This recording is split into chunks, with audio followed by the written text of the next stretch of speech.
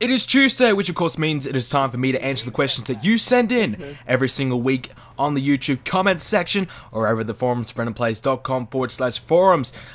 Guys, I did not watch Raw this week. It was the Christmas edition of Raw, and I've learned my lesson. I learned my lesson from last year.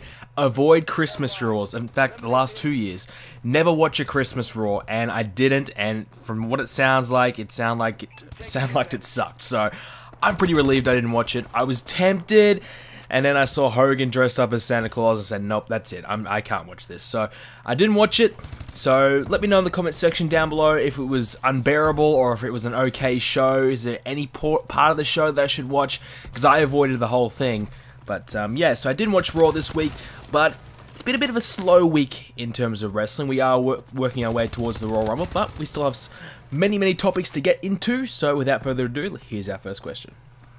And just on a quick note before we get into our first question, I just want to say Merry Christmas to all you guys out there. I think I'll probably put one more video up before Christmas. That'll be the next episode of Universe Mode. I was going to do that today, then I realized, realized, oh shit, it's Tuesday, i got to do this one. So, Universe Mode's coming up tomorrow, but that'll be probably out on Christmas Eve. Might do, it might even do a video on Christmas Day, who knows. But uh, Merry Christmas to all you guys, so hope you all have a great day. So, the first one is from Bailey14. Do you think Ziggler has any chance of being the man in 2015? Is there any chance he wins the Rumble? And finally, would you be interested in a Ziggler versus Lesnar match at the main event of Mania? Well, this has been a, a, really widely discussed topic in recent weeks, from what I've been listening to anyways. Can Dolph Ziggler be the man? Is Ziggler a better choice than Roman Reigns or even Dean Ambrose? Honestly, right now, on paper, you would probably say Yes, I mean Ziggler. He's got 10 years experience in the WWE. The fans know who he is. The fans know his struggle. The fans know his story. He's probably just as much over as he was when he won the world title, when he cashed in Money in the Bank. He had a good run there. So he's proven that he can be a champion. Obviously, he did get injured and whatever, whatever. But he can prove that he can get over and he can be a credible champion. Is he at that stage right now? I think he is very, very close. I mean, if he won the Royal Rumble, I honestly would say, okay, fair enough. You know, I think he could be a potential winner. He's a legitimate threat. You look at his past couple of months, sole survivor at, the Survivor Series, Intercontinental Champion multiple times and holding it for quite some time as well. Um, some big victories, including the likes of um, Seth Rollins, uh, who else did he beat? Kane many times probably. Uh, Mark Henry, you know, he's beaten some credible top heels. So he's had plenty of big victories, and in my opinion, I think he could be a legitimate contender for the Royal Rumble. Do I see him winning, though? I don't think so. I still think they're going to go with Roman Reigns. Is that the right choice? I I don't know. I think Reigns isn't, isn't ready. But is anybody else ready, though? Is Dean Ambrose ready? Yeah, I don't know. I think, just don't think Ambrose is over enough to warrant that kind of push.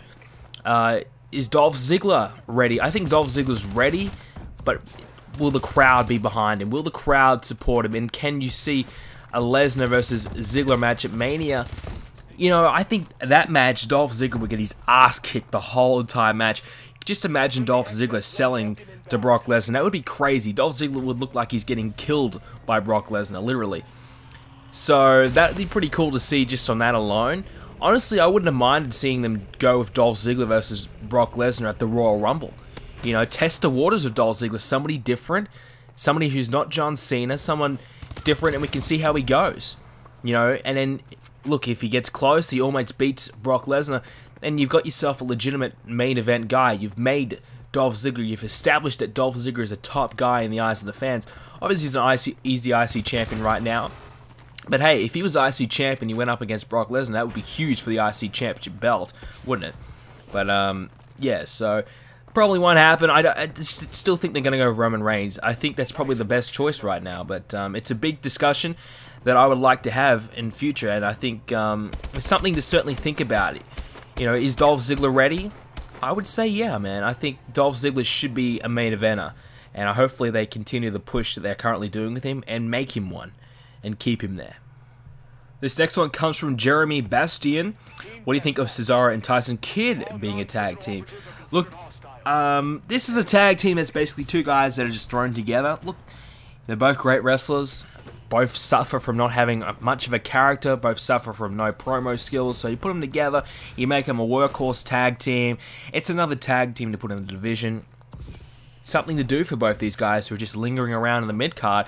That's what they should really be doing for a lot of these mid card guys. I mean, stop having guys job out for no reason, and you know, stop having guys who are doing absolutely nothing. You know, put Zack Ryder in a tag team with somebody. You know, put R-Truth in a tag team with somebody. You know, these guys that can be used and have some kind of value, use them, you know? Like, they just kind of put people off TV until the point where nobody gives a shit about them. And when they do come back, everyone's like, oh, yeah, that guy. I haven't seen him for six months. Why should I care? You, you know, you don't. So, Cesaro, he's had a, such a horrendous year. It's you know, he went from being at the top to absolutely nothing in the space of six months. It's terrible to see. It's sad to see. Tyson Kidd, he went and uh, reinvented himself at NXT, and he's come back, and I think he's done a lot better. I think he's got a, an okay gimmick. It's not really much that can lead him, get him where anywhere big. You know, I mean, he's the, you know in the shadow of his of his wife, which is you know never really going to make you a uh, very popular guy in, in in the eyes of the fans. But look, you know, I think putting these guys as a tag team, it's something to do, and you know, keeps the tag team division thriving because God knows we know we need more tag teams badly, so more tag teams the better. This next one is from 1999 Crow. Now that Adrian Neville has lost his championship and they have a new rival for Sami Zayn, do you think he will move up to the main roster soon? There's a lot of rumors that Sami Zayn, sorry, uh, Adrian Neville will be moving up to the main roster soon, and probably Sami Zayn too. Honestly, I would keep Neville in NXT until after WrestleMania. I think he'll be one of the WrestleMania call-ups. But to be honest, don't be surprised if you see three guys from NXT in the Royal Rumble. I can see Adrian Neville being in the Royal Rumble, similar to what they did to Rusev and I think Bo Dallas as well. You know, I have a couple guys from NXT in the Royal Rumble, so probably expect to see Sami Zayn, Adrian Neville, and I don't know. That, that's probably it. Who both those guys I can see being in the Royal Rumble just to introduce them to the fans. I know most people probably know who they are already. But um, just to give Adrian Neville and Sami Zayn just a, a start, and um, you know have Adrian Neville do a cool spot instead of Kofi Kingston doing something cool this year. Make Adrian Neville do it. Make Adrian Neville do something cool to stay on the Rumble. That gives him his big moment because Kofi Kingston, nobody gives a fuck about him. He's done. So give Adrian Neville that that spot. And, you know, people go, oh shit, look at this guy. This guy's from NXT. He just did this cool move to stay in the Rumble. You know, this guy could win it. You know, this guy, oh, what a performance. What a great performance. He eliminated three guys. He was in there for 15 minutes. This guy's impressive. I'm to, I can't wait for him to get up, get the call up. You know, just something like that to introduce him to the fans. I think that could work really, really well. Another one from Bailey14. He wants a rant on why the hell Big Show can't lose a match clean. Versus Roman, now he loses the Reigns by countout. Well, they're not really making Roman Reigns look very strong by winning by countout, are they? I believe that happened on Raw. I, I heard about that result, and that's just typical Big Show. I don't know. I guess he's a 7 foot, 450 pound giant. He should be booked strongly. He should not be losing clean all the time. But the guy's 45 years old. He's done. You know, there's no value left in him. No, nobody cares about the Big Show. He's not over. Well, he, he is to agree to, to a degree, but it's just because he's been around forever. I mean, they should be really focusing on making new talent. I mean, what they did with Eric Rowan, I already blasted that last week, but they should. That was just disgraceful. And now Roman Reigns, I think the reason why they, they had Reigns win by counter is just so they could continue the feud on. You know, if Reigns beats him in the first matchup, what's the point of continuing the feud? The feud's done. You know, Reigns won. You know, who cares anymore? So the reason why Reigns won by countout is simply so they can drag the feud out to the Royal Rumble.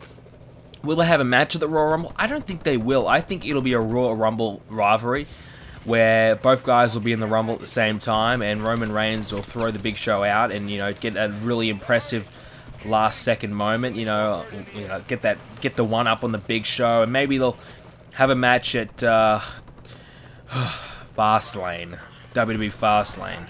Jesus Christ, that's that name still pisses me off. But yeah, they may may drag it out that long, but I think this one will just be at a Royal Rumble situation. And maybe Reigns will beat him cleanly on the, the, the Raw before the Royal Rumble to make him look strong. This next question is from Tasteful Chain 4. What are your thoughts so far on the new and improved Fandango? Same shit, different look, different dancer. It's the same exact crap. And Fandango's done already. Roman Reigns beat the shit out of him on SmackDown and speared him on Raw like last week. Fandango's done. You know, this whole new and improved Fandango, it's just exactly the same thing, just a different outfit. You know, and different theme music. He's done. You know, he had a two week push. I think he won like one or two matches, and, you know, now he's back to losing to everybody again. So, Fandango, don't be surprised if he's released next year. I mean, I think he's done. I don't think there's any resurrecting him. You know, they could change his gimmick again, make him Johnny Curtis, but, you know, I just think Fandango just doesn't really offer all that much. I just think uh, his promos are uh, pretty bad. His in-ring work is is okay. You know, he hasn't really done all that great of a match quite yet, to be honest. So I just don't think he really adds that much value, and the WWE obviously don't want to push him, aren't really giving him that much of an opportunity. I mean, they did in, in his original push, they were pushing him quite heavily, but now the fans don't give a shit about him. He's, to be honest, he's just done. I, I just can't see him being around for much longer. I, I honestly expect him to be jobbed out heavily and then released after WrestleMania with all the uh, roster cuts. This next question is from Oliver Griffin. What do you think of who The Undertaker will face at WrestleMania and what do you think will exactly happen? Well, obviously, right now, Sting would be a favorite, but the other favorite and the rumored opponent for The Undertaker right now is Bray Wyatt. I personally would like to see Sting. I think it's a, it's a dream match. Everyone wants to see it. I don't think we really want to see. I think fans would rather see Sting and The Undertaker finally go at it rather than Sting and Triple H. I mean, that's the match we want. We want Sting and Undertaker. But look, we can't have Sting and Undertaker, and I guess it's kind of fair. I mean, two old guys. It probably won't be that great of a match, but it just be will it just will be a spectacle. just be a, a great moment for wrestling fans. Going, holy shit, Sting and Taker, same ring, same time. They're gonna go at it. It'd just be huge, man. It'd just be great to see. You know, I have a 10 minute match at Mania. Fuck it, man. It'd, be good. It'd be cool. But hey, will Undertaker be at WrestleMania? I don't know. Will he be there? I hope so. I, I, I don't like the way he went out last year. I think he deserves to do better. But if he goes up against Sting, he obviously will beat Sting. But if he goes up against Bray Wyatt, I want Bray Wyatt to win. Because why would The Undertaker beat Bray Wyatt? You know, that would just kill Bray Wyatt. And Bray Wyatt needs that kind of victory over the Dead Man.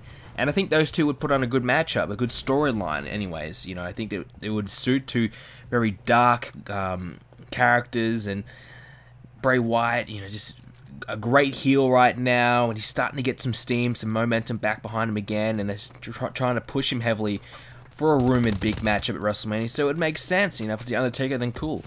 But um, I would want to see Bray Wyatt win and uh, Undertaker get a proper send off. I mean, one where he's not concussed and one where he actually knows where he is. So, but still, I think I'd rather see Sting and Taker. This the wrestling fan of me just wants to see and wants to know what if. What if Sting and Undertaker had a match at WrestleMania? This one is from the Joe Meister. Do you think the Lucha Dragons will be successful in the main roster? Let's be real, any tag team that comes up from NXT or any tag team at all will probably be successful right now in this tag team, tag team division.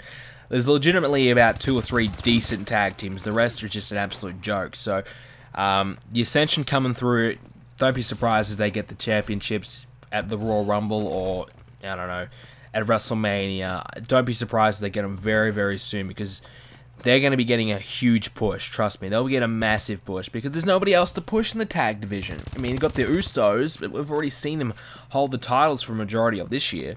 So I think I'm a little drained on the Usos, to be honest. I used to be a, a pretty big fan, but now I kind of am digging the whole Miz and Mizdow kind of thing. So I'd be keep going with them, but and then maybe build up towards a WrestleMania match between the Miz and Mizdow, and have the Ascension knock them off at some point. But yeah, the Lucha Lucha Dragons, they're going to come in. They'll be successful. I mean, I think Kalisto, I think his name is. He's going to be the next Rey Mysterio. He's going to be huge. Trust me. He'll be he'll be huge in the Mexican market. And Sin Cara, the new and improved Sin Cara, I don't think the Sin Cara character can go anywhere. I think they honestly should have changed the Sin Cara characters to something different, something cooler. But look, you know, I think it'll be a successful tag team, and I'm looking forward to seeing them come up to the main roster. Hopefully, it's soon. Final question from today is coming from Best in Class Gaming.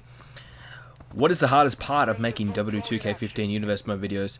Well, obviously, I just had a shit ton of errors on my recent Money in the Bank video, so one of the hardest things of making 2K15 videos, well, videos in general, I guess, is, I don't know, editing is pretty annoying, um, but really the toughest part for me is rendering and uploading. Just the time it takes to do those things, it just takes forever.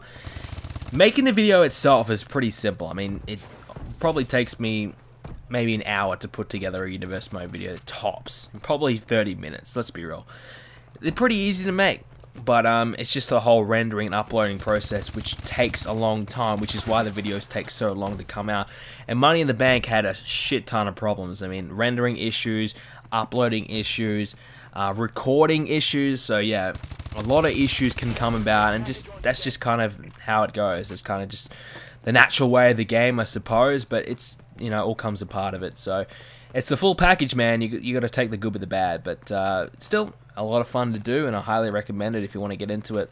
That will do it from me today, guys. Hope you guys enjoyed today's Let's Talk Tuesdays episode. Of course, if you want to leave a question for next week's episode, make sure you do that in the comment section down below or at the forums at brendenplayz.com forward slash forums. Hope you have a Merry Christmas. Hope you guys get everything you want from the big red man. And um, yeah, stay safe, have fun, have a good holidays, and uh, I will see you all next Tuesday for more Let's Talk Tuesdays.